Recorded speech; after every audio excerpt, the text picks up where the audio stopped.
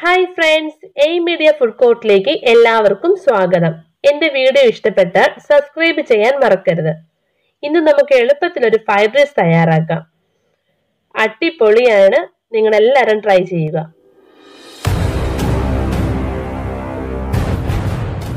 ഇതിനായി ഞാൻ ഒരു കിലോ ബസ്മതി റൈസ് ആണ് എടുത്തിരിക്കുന്നത്. ഉപ്പിട്ട് തിള തിളച്ച വെള്ളമാണിത്.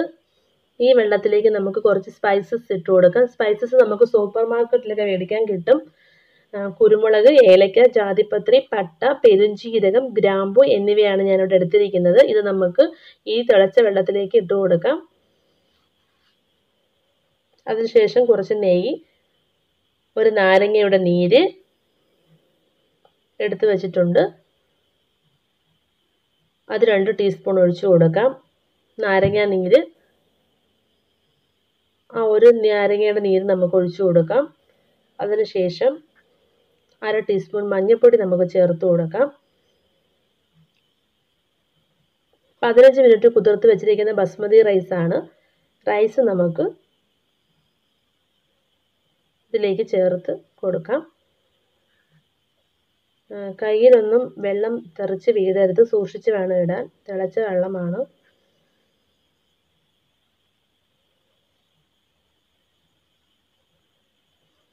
നന്നായിട്ട് ഇളക്കി കൊടുക്കണം. അതിനുശേഷം നമുക്ക് രണ്ട് ക്യാരറ്റ് പതിനഞ്ച് ബീൻസ് നാല് പച്ചമുളക്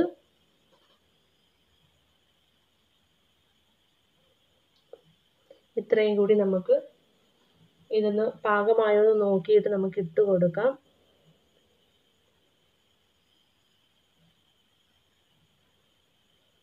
പച്ചമുളക് ഞാൻ ആ നെട്ട് ഭാഗത്ത് വെച്ചൊന്ന് കട്ട് ചെയ്തതാണ്. ഫുള്ള് കട്ട് ചെയ്തിട്ടില്ല. നെട്ട് ഭാഗത്ത് മാത്രമേ കട്ട് ചെയ്തിട്ടുള്ളൂ. നമ്മൾ ഇങ്ങനെ ഇതുപോലെ നമ്മൾ ഇടുന്ന സമയത്ത് നമുക്ക് നന്നായിട്ട് ഈ റൈസിന്റെ കൂടെ തന്നെ ഈ വെജിറ്റബിൾസും എല്ലാം വെന്ത് കിട്ടുന്നതായിരിക്കും. ഇത് പ്രത്യേകം ഞാൻ എണ്ണയ്ക്കകത്ത് വഴറ്റിയോ നെയ്യിൽ വഴറ്റിയോ ഒന്നും ചെയ്യുന്നില്ല. സാധാരണ ചിലർ നെയ്ക്കകത്തും എണ്ണയിലൊക്കെ വഴറ്റാറുണ്ട്. ഞാൻ ഇതിൽ തന്നെ വേവിച്ചെടുക്കുകയാണ്.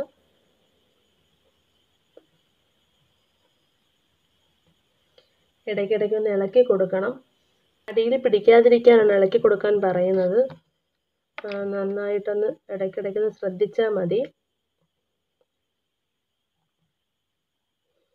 പതിനഞ്ച് മിനിറ്റ് അടച്ചു വെച്ചതിന് ശേഷം വീണ്ടും ഞാൻ നോക്കുകയാണ്. ഇതിലേക്ക് നമുക്ക് വെള്ളം വല്ലതും കുറഞ്ഞിട്ടുണ്ടെങ്കിൽ നമുക്ക് വേണമെങ്കിൽ ഒഴിച്ചു കൊടുക്കാം. പിന്നെ ഒന്നുകൂടെ നമുക്ക് വെക്കാം. വെള്ളമുണ്ട്. പരുവായോ എന്ന് നോക്കാം നമുക്ക്. ആ വെജിറ്റബിൾസ് ഒക്കെ വെന്തിട്ടുണ്ട്. ആ പച്ചമുളകൊക്കെ വെന്തിട്ടുണ്ട്. കണ്ടില്ലയോ നമുക്ക് കോരി മാറ്റാം. കുറേശ്ശെ കുറേശ്ശെ കോരി മാറ്റണം. ആ കോരി മാറ്റി വെച്ചിട്ടുണ്ട്. ഇത് പതിനഞ്ച് മിനിറ്റ് അവിടെ ഇരിക്കട്ടെ. നമുക്ക് അടുത്ത ജോലിയിലേക്ക് നമുക്ക് പോവാം. നമുക്ക് കുറച്ച് അണ്ടിപ്പരിപ്പും കുറച്ച് മുന്തിരിങ്ങയും കൂടി നമുക്ക് വറുത്ത് കോരി എടുക്കാം രണ്ട് ടീസ്പൂൺ നെയ്യ് അങ്ങോട്ട് ഒഴിച്ച് നമുക്ക് മുന്തിരിങ്ങയും അണ്ടിപ്പരിപ്പും നമുക്ക് വറുത്ത് കോരാം.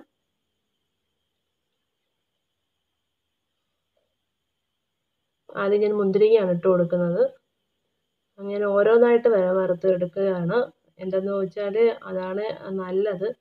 അല്ലെങ്കിൽ രണ്ടും രണ്ട് രീതിയിൽ ആയി പോവും. ചിലപ്പോൾ ഏതെങ്കിലും ഒന്ന് കരിയാൻ സാധ്യതയുണ്ട്. നല്ല പൊങ്കി പൊന്തി വന്നിട്ടുണ്ട്.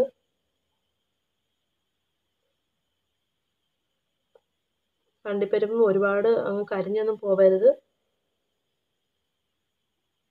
സ്ലിമ്മിലിട്ടിട്ട് വേണം ചെയ്യാൻ.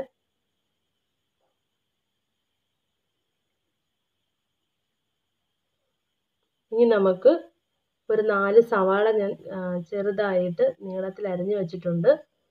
നമുക്കത് വറുത്ത് കോരിയെടുക്കാം. അത് കൈകൊണ്ട് നന്നായിട്ടൊന്ന് ഇതളുകളാക്കി ഇടുക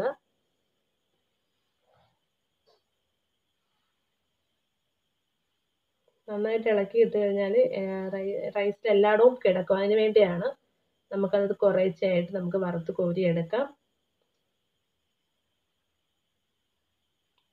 അത് നെയ്യിൽ തന്നെ വറുക്കുന്നതാണ് നല്ലത്.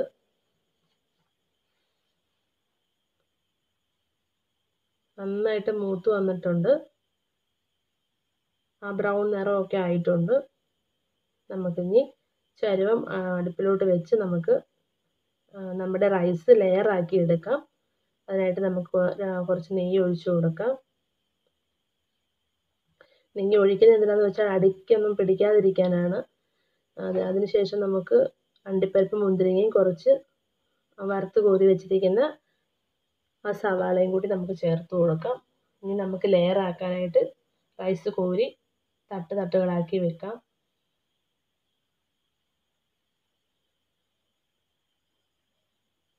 ഇനി വീണ്ടും നമുക്ക് സവാളയും അണ്ടിപ്പരിപ്പ് മുന്തിരിങ്ങയൊക്കെ നമുക്ക് ചേർത്ത് കൊടുക്കാം. ഇനി കുറച്ച് തീയാണ് തീ അടിയിൽ വരാവൂ കൂടുതൽ തീ വരരുത്. ചെറിയ തീയിൽ വേണം ഇനി തിരിക്കാൻ. അതിന്റെ മേളിലായിട്ട് നമുക്ക് വീണ്ടും അടുത്ത ലെയർ നമുക്ക് ഇട്ട് കൊടുക്കാം. അതിന്റെ മേളിലായിട്ട് നമുക്ക് ബാക്കിയുള്ള സവാള വറുത്ത് കോരി ഇതെല്ലാം ചേർത്ത് നമുക്ക് അണ്ടിപ്പരിപ്പൊക്കെ ഇട്ട് നമുക്ക് അടച്ച് വെച്ച് ഒരു പതിനഞ്ച് മിനിറ്റ് നമുക്കിത് അടച്ച് വയ്ക്കാം